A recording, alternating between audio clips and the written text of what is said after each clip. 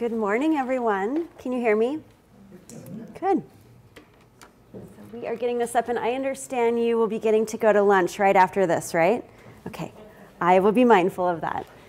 So, um, my name is Kristen Vandersluis, and I am with a communications firm called ProPros, and we are one of the many subcontracting firms that have um, been contracted with Caltrans to help them do some public outreach up and down the state for um, a big plan update that's happening. So that's why I'm here today to talk with you to tell you about our strategic highway safety plan and um, so I'll be giving you an overview of what the plan is, and then I'm going to be talking with you about ways you can get involved. And then afterwards, I'll really want to have an interactive session to hear from some of you on some ideas for how we can help spread the word about this, um, this plan and the process um, to those that you are involved with.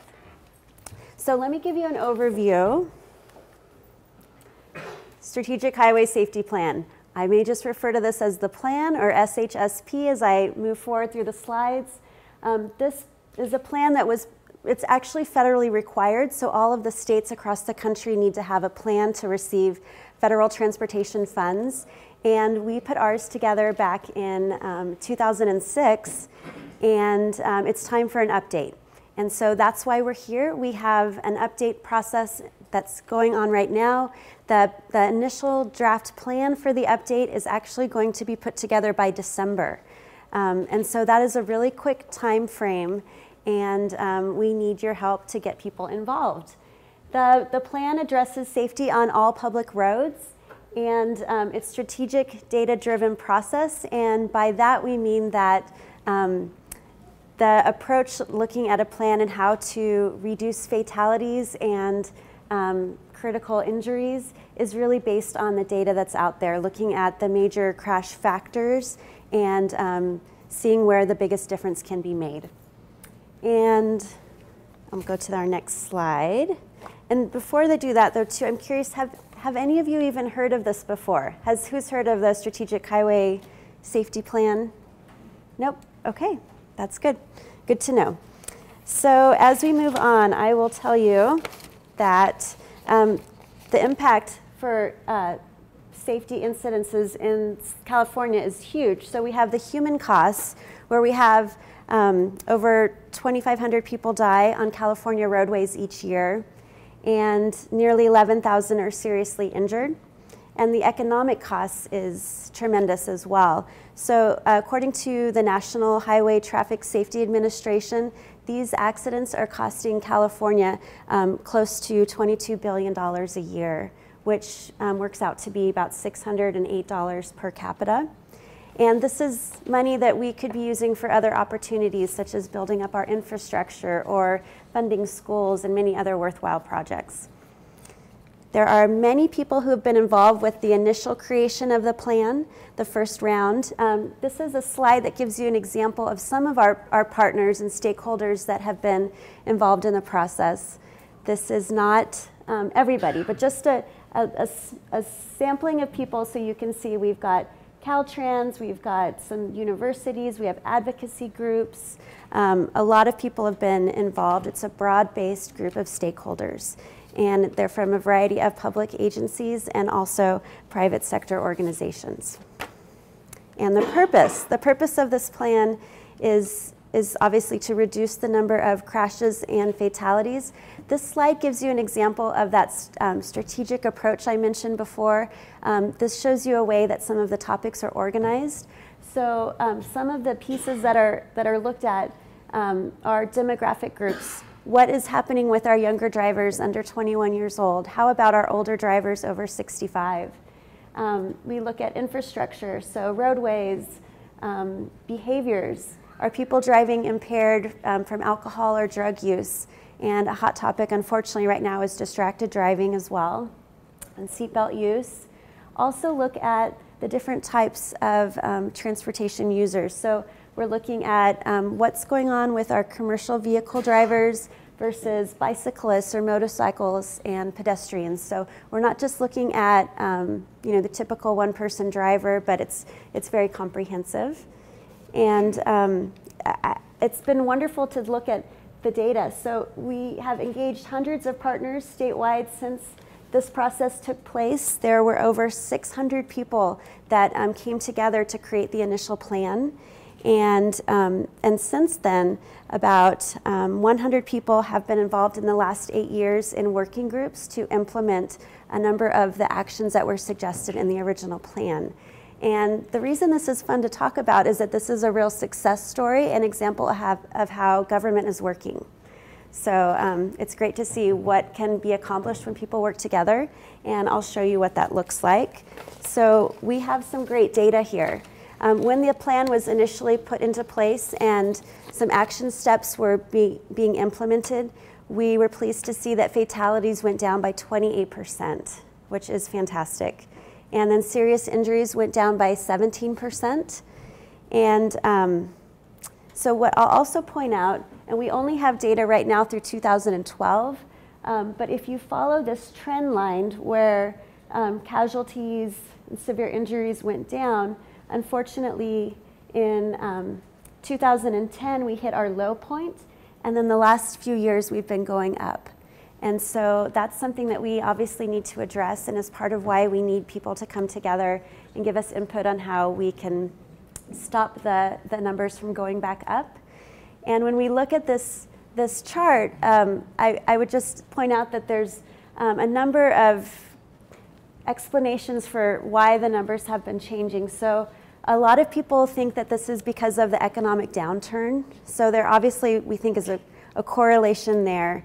Um, but it's been interesting to see that when the vehicle miles traveled um, that we track to see, um, you know, people are um, more economically impacted, they're driving less, they don't want to um, spend as much money on gas. As those numbers um, were going down, we actually saw that our accident and fatality rates were going down faster.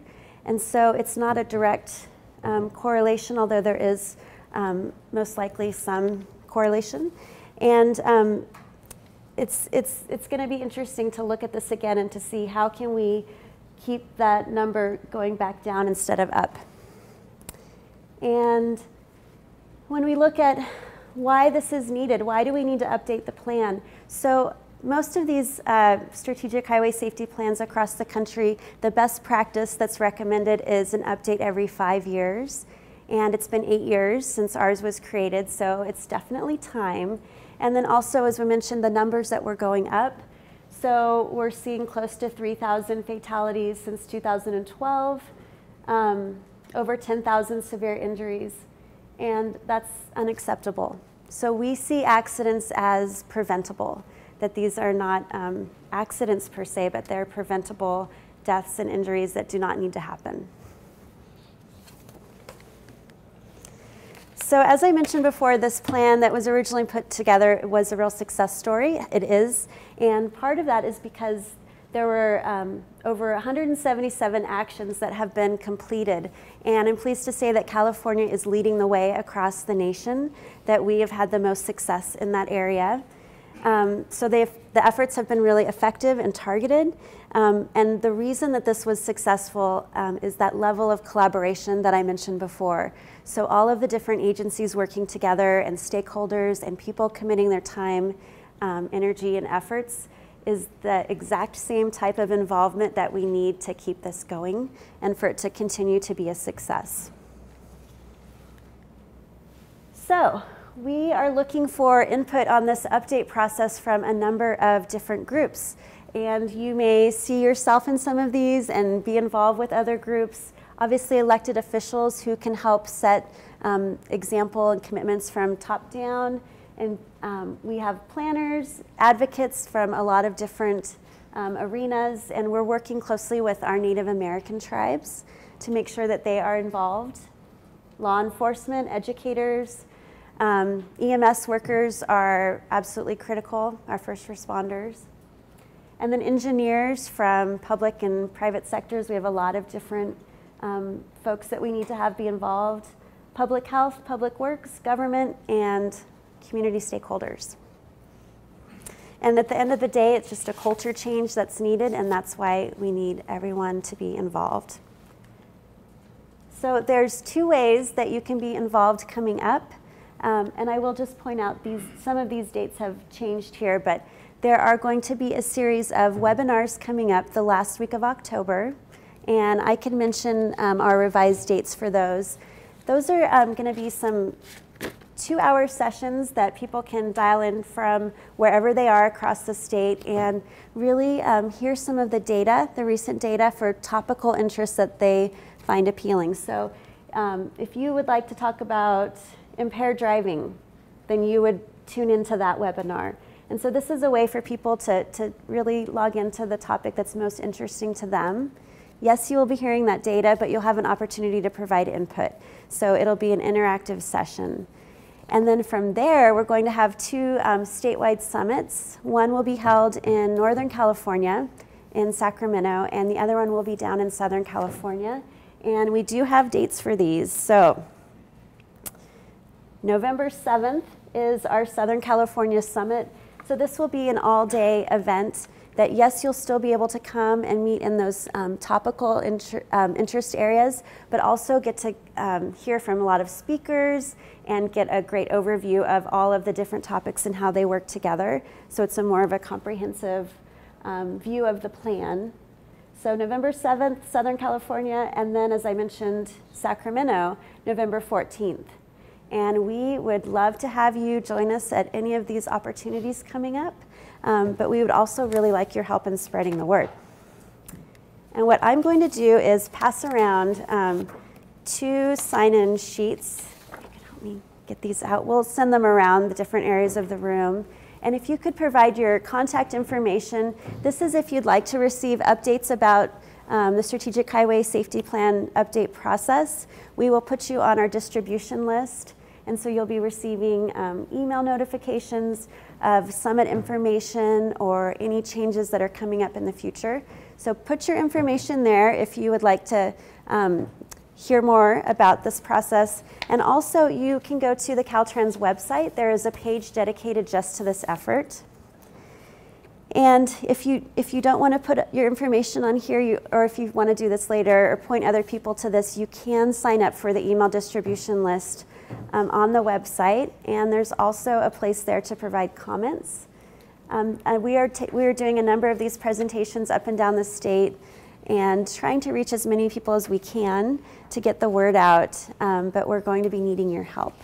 So we'll, we'll dive into that in a few minutes. Um, but for now, does anyone have any questions that I can answer? Yes? So the summits, the question was what's involved with the summits, if it's training or presentations. Um, so as I mentioned, the summits will be um, full day events and you will come and um, some of the details are still being worked out, but we'll likely have people gather by their topic areas for some sessions. And we're, we're hoping to bring in um, interesting speakers that people will want to hear and, and interact with for each of the different topics. Um, and we're going to have plenary sessions where we're requesting input. So there's going to be a number of different ways to provide input. Um, and we'll, we can get more information to you as that becomes available. Yes? question. So you're saying that because um, the federal dollars that the state receives, uh, the state has to have some type of plan to address safety.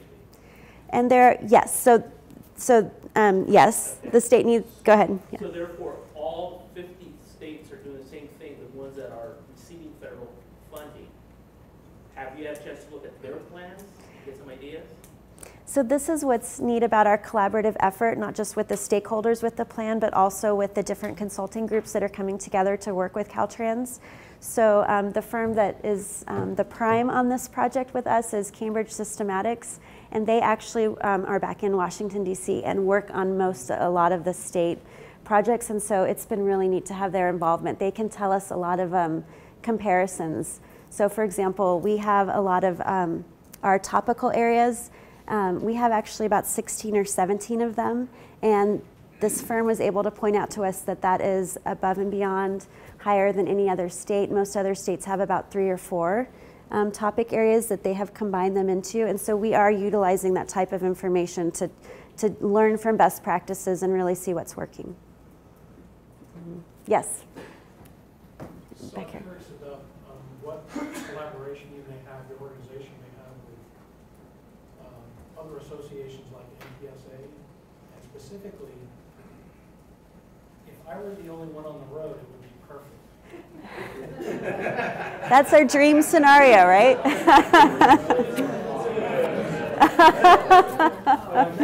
So point is, if uh, if the automobile manufacturers were to invent or were mandated to have things like, I drive a tremendous amount every single day.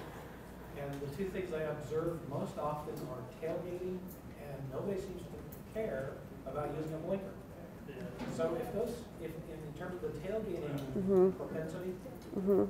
um, if it were built into the car so that some sort of a verbal and audio warning were to come up saying, you're too close. Mhm. Or if I could put it in my car as an option saying, get off my ass.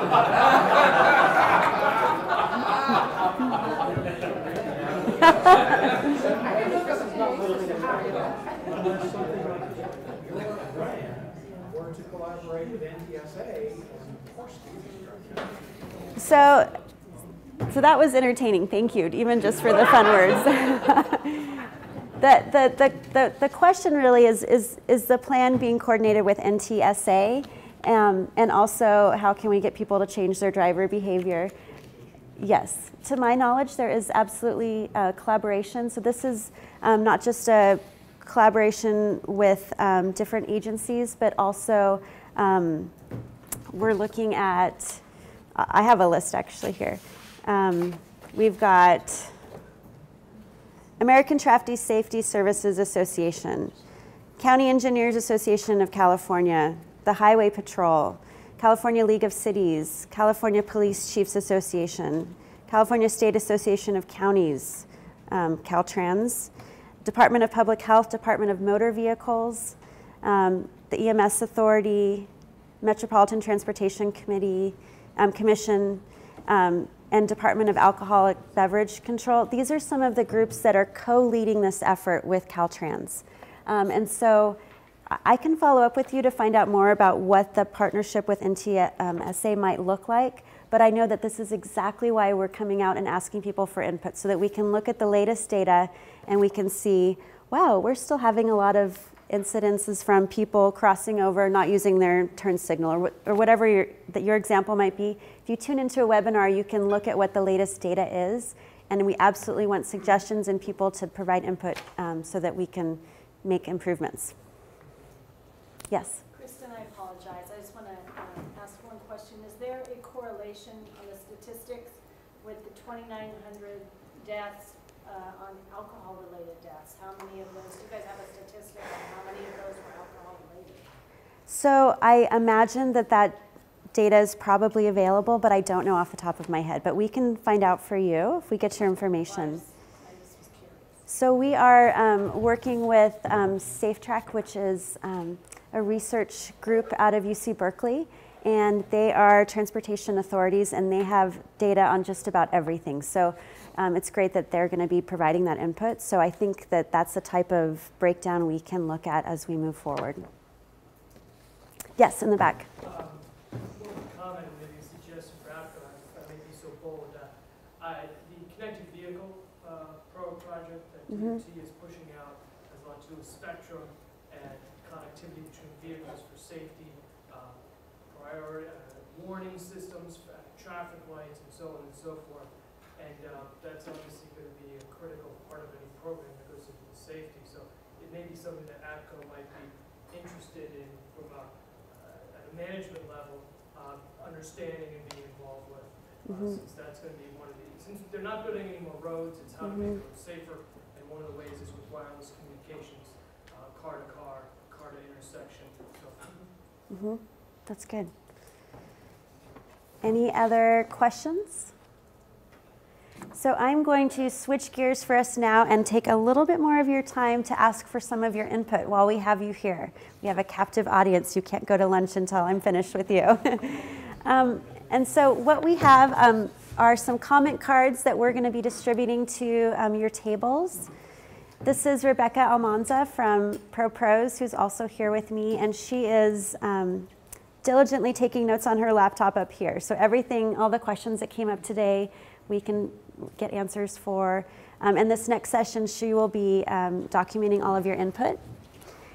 And basically, what we want to know from you is how can we best spread the word about this effort? So, we are doing an update to Strategic Highway Safety Plan here in California. We need broad based collaboration and input.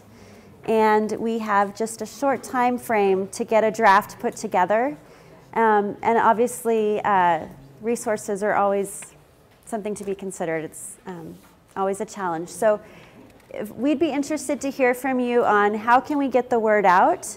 Um, and so, if there's different groups that you are involved with, um, listservs that you have access to, um, or if there's some groups that you're a part of that you recommend we also visit to do another one of these presentations, um, we are going to be doing everything that we can to get the word out. Um, so I'm throwing it out to you. Go ahead. Yeah, but I think going back to statistics, you know, each group that you're talking to will have different interests. Like Karen, with young teenagers, Yeah. they'll be more concerned about teenage driving. Mhm. Someone who had, who had lost, uh, lost a loved one from DUI, someone got killed, Yeah. will have that interest. Yeah. And then you're talking about the demographic of, cultural demo- demographics, Mhm. languages, Mhm. and on and on and on. So a lot of it depends on your statistics. So you Absolutely. Bring it up to, Our target audiences, absolutely, and that's part of the, the public outreach effort that's that's happening right now. Um, just being mindful that we do have that tight time frame, though. We, in, a, in an ideal world, we would have known about all of this six months ago and had much more breathing room, and that just isn't always reality. And so, um, given that we have a tight time frame, how do we quickly get the word out to the, the most people that we can? So if you have ideas, you can put them on your comment cards and we will collect those afterwards. But I would love to hear from you. Does anyone have um, other groups that they're involved with that they think would um, benefit from a presentation that we, like we had today? Have you contacted the, I know the uh, DPW, you know, roads type groups have a group like this? I don't think so. Yeah, they do. Okay, no, but I mean, we haven't contacted Okay, them. But that is, um, absolutely, I mean, they have the road statistics, things like that. Every Yeah. county has one, I know the state has one, well, Caltrans. But they go to those meetings in the Mhm, region, so mhm. that would be, they have a lot of the data or things they're doing locally. And tell me the group name again with um, the acronym Department spelled out. Oh, okay. I'm sure that there's some coordination, but we will definitely make sure. And we, we're having team um, meetings weekly to try to collaborate, so I will bring this one up. Good. Any other ideas? Yes. Have you reached out to the California Wireless Association? Nope. Good. This is why we're here. We need your ideas. Okay. Is that a pretty large group? We've interacted with them a couple times, like Mhm. a couple different joint meetings and stuff, and they, they're an active group, and yeah. It's good. represents the cellular industry in California. So big group.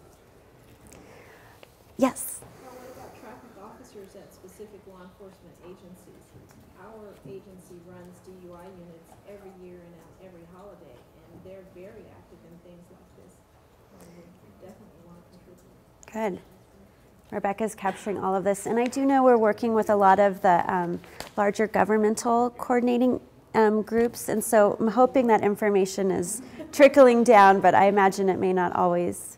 What's- also traffic, as- traffic groups within, I know Marin and Sonoma Mhm. have a traffic group coalition to, because you have the one highway going up and down, they have Mhm. a coalition that works on that, and I know they have a webpage. Okay, Marin Sonoma Traffic, great. not smart. Yes. I- I'd like to know how you quantify the, the difference in the death rate in accidents. I mean, that- that chart you had up earlier shows uh, the economy was good, the economy's bad, people aren't driving. Now the economy supposedly is getting a little better, there's more people working, so it's starting to go back uphill. I don't know, can you tell me one thing that this plan has done in the past that's absolutely stopped accidents and deaths? I, I, I don't know you could put a finger on it, because you can't change behavior. Behavior is behavior with the individual, and they're gonna do what they're gonna do. So actually, um, I might have thought the same thing a few months back, but um, I have been looking at some of the data, and it's that this is why this is um, an innovative project for all of us to be working on. Is that we're actually tracking for some of the first times and, and comparing month to month, year to year, what the data looks like, and so we can. And, we, and a lot of our behavior modification campaigns, we do actually have proven data that we can influence behavior. And no, we cannot absolutely change everybody. That's impossible, right? But we have seen, um, for example, one of the projects that our firm works on is the Slow for the Cone Zone um, project for Caltrans. We've had billboards up and campaigns going on, and we've seen um, an improvement there on some of the data that we can track. And so um, we actually are able to, to see influence and some behavior modification. Um, but we will have some of our data experts that are absolutely going to be on the webinars involved and then presenting at the summit. So that's why we would love to have you there. And they, um, they could talk for hours with you on all of that. That's they just love the data and all those questions. Yes.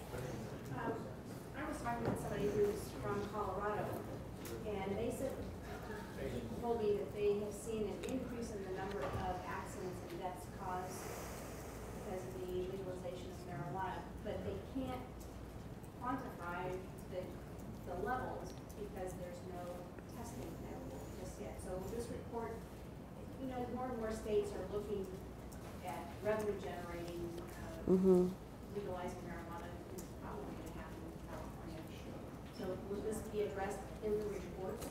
So this is the type of topic we would talk about in the subgroup about um, driver behavior. And um, this question has come up before about marijuana use. And obvi- obviously, as laws are changing around the country, this potentially will be more of an issue.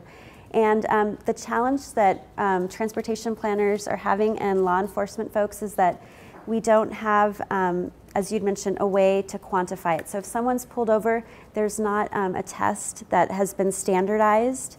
And so we're a little behind um, on where we would probably like to be there. Um, but that is a topic that is definitely on the table to be addressed and will be included.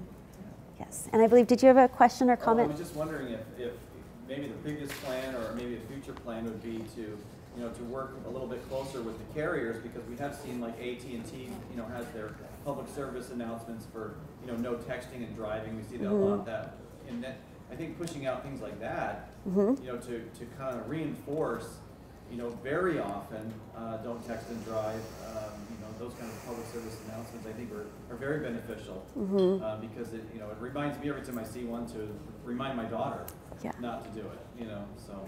I don't know if the plan has that kind of a focus to work Um, with commercial companies. I am not sure. So we will find out about that. Yeah. Um, but I know that's part of why we're trying to get as many people involved as we can to reach out to a lot of the people that were involved initially. But many of the people that provided input um, are not always at their same companies or same jobs. Um, and so we are starting afresh in some ways, um, but that's good. I know we want to look at all of that. I, uh, I read a thing not too long ago where they, um, were talking about the fact that instituting the hands-free laws Yeah. was a law that actually backfired because it forced more people to do texting instead of talking on the phone. And I'm wondering if there's any, um, data about that in any of the information that you have. There may be, and that's the type of question that we could ask um, at the webinar specifically for that topic, but we can also um, find out for you. So we're going to be sending around a follow-up communication um, as soon as we can get these answered pulled together for everyone. Rebecca, did you get that question? Okay. Yes. I was just gonna say, as far as spreading awareness, um, uh, organizations that spread wide throughout California, uh, American Youth Soccer Organization, AYSO, Okay. You have people that are distracted with mostly children in their vehicles all hours of the day. Uh, you have coaches that have mandatory training sessions, and we could introduce in a a coaching session, so just as far as awareness for distractions or education, that would be a good organization if you I love it because that's thinking outside the box. Thank you. Yes, that's great. Good. So, any ideas for speakers that you would like to hear if you were to come to a summit? Is there either a person or a topic that you would be um, highly interested in? We know we want to look at marijuana. We know we want to look at um, driver behavior and data. Is there, yes? One of the ones I think California, we were just discussing manufacturing the vehicle on the way here today, was California's the only state that allows lane splitting by motorcycles. The only state left that does that. And every week you read in the Bee or some other newspaper where Yeah. motorcyclists have gotten killed because of doing it. That's the worst law. And it's the worst law, it's, it, and it's, not only that it's dangerous, I, I was explaining that we were on the freeway, I was doing mm-hmm. about seventy down eighty, mm-hmm. car next to me was doing seventy, and I had a motorcycle split the lane between us. And you don't see them sometimes, and then you don't even know they're there, so they're right up on you, and the noise of the motorcycle is deafening. It distracts people, it, it has an issue like that. Mm-hmm. I have no problem like sitting at a red light and the motorcycle wants to scoot up between mm-hmm. cars. I have no problem with that. But what they're doing on the freeway is extremely dangerous. Good. So we'll make sure that's included on that webinar. Good. Any, anything else that people?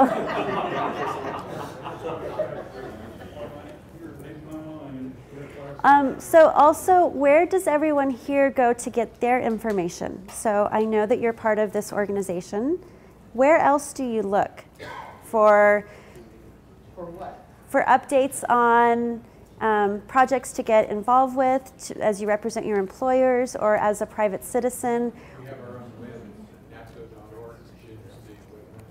Fantastic. And Jim has kindly um, offered that we can send around some information after, which is great. What else? The Sacramento Bee has a, a, a weekly, uh, thing called Backseat Driver, Okay. which they talk about local transportation issues and so forth on there, and maybe a place where they, they'll advertise that for you. That's great. The San Jose Mercury News has something called the Road Show, Okay. where they always talk about things that are going on locally. This is great. County has a webpage, um, Is that Marin County? Marin County, Mhm. where you, they have a traffic division, hmm where they post that kind of stuff. Great. For the citizens to look at. Over here. I think the key is if I, you know, take off my business hat and as a citizen, Yeah. what's gonna prompt me to go to those great resources? Nothing, right? Unless there's something in front of me going, well, that's curious. I might remember to look for something. I think that's your key. I absolutely, putting on my communications hat, I absolutely hear what you're saying. It's we need to get the hook out there of sort of, we call it WIFM, what's in it for me? We have to answer that question to get people's interest. And that's something that we need to look at. The uh, highway road signs? So those are, yes, those are being utilized a lot with the, like where they put amber alerts and the drought messages right now. Severe drought.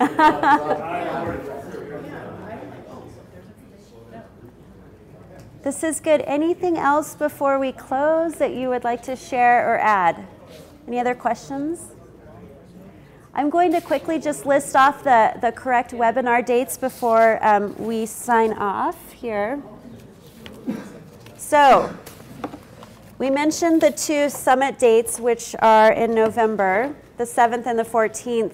For the webinars, we have, let's see, six different topical areas that we have um, grouped our topics within. And on October 28th is going to be um, the tribal safety webinar from 10 to 12.